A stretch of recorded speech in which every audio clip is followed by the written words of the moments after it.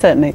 So, uh, what, doctors in the emergency department have a really tough job to do because the patient arrives, they might be really unwell, and they don't have a lot of information on which to base their decision because they haven't got the test back and things like that.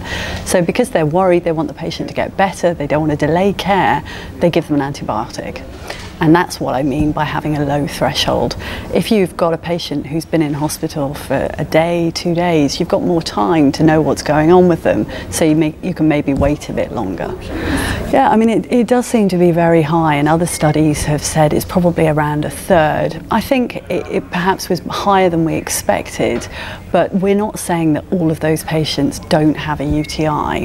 What we're saying is we haven't got any evidence from a test that says they have a UTI or not not. So the real answer probably lies somewhere in the middle, maybe a third, but it still means that a whole load of people are getting antibiotics who don't actually need them.